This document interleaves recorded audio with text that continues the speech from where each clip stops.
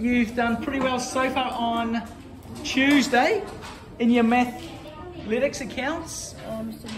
You have to tell us what's going on here. Wait, Khalifa, he knows where Middle East top 50. There's no way you guys would be the top. Mr. Blair Impossible. 5A, AIS, Mr. Blair 5A, in Australian International School, Sharjah, United Arab Emirates. Points 1,386. 1,387. 87. We are on top in the Middle East. That is amazing work. Good teamwork. And second place is I got two right. Oh my goodness.